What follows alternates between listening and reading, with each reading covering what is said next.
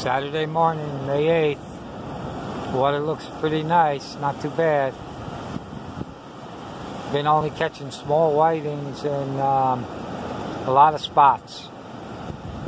There are some sand fleas now.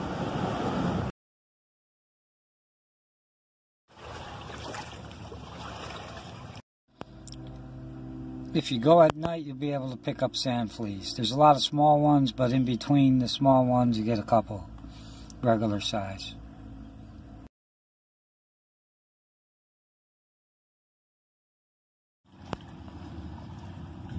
Here's what's grabbing your baits. Gonna cut up this whiting with all the spots.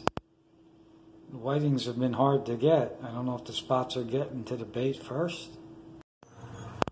Here's my setup. You could easily make your own little rod carrier. There's probably plenty of videos on it.